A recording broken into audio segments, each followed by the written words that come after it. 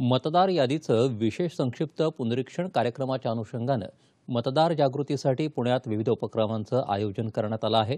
मुख्य निवडणूक आयुक्त राजीव कुमार आणि आयुक्त अनुपचंद्र पांडे यांच्या हस्ते विद्यापीठात मतदार नोंदणी लोकशाहीतील पहिलं पाऊल या विषयावर आधारित प्रदर्शनाचं उद्घाटन करण्यात आलं.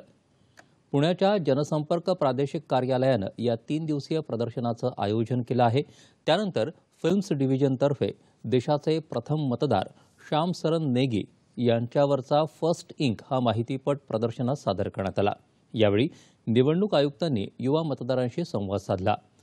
भारतात युवा वर्गाचा सर्वाधिक टक्का असून त्यांना मतदान प्रक्रियेत सामावून घेण्याच्या दृष्टीनं विद्यापीठ स्तरातून मतदार नोंदणी जागृतीचा कार्यक्रम हाती घेण्यात आला आहे अशी माहिती राजीव कुमार यांनी यावेळी दिली. मतदानापासून कोणीही वंचित न राहणं मतदानाचा अधिकार बजावणं आणि प्रलोभनाला बळी न पडणं या त्रिसूत्री आधारावर लोकशाही मजबूत होत असून युवा वर्ग याचा पाया असल्याचं निवडणूक आयुक्त अनुपचंद्र पांडे यांनी आपल्या भाषणात सांगितलं. त्यांच्या उपस्थितीत लोककलावंतांनी गोंधळ लावणी जोगवा आणि वासुदेवाची वारी या माध्यमातून मतदानासंदर्भात जनजागृती करणारे सांस्कृतिक कार्यक्रमही सादर केले. समाज माध्यमांचं प्राबल्य असणाऱ्या आजच्या काळात प्रत्यक्ष जनसंपर्क कार्यक्रमही तितकेच महत्त्वाचे असल्याचं राजीव कुमार यांनी सांगितलं. त्यानंतर आयुक्तांनी तृतीयपंथीय मतदारांशी संवाद साधला.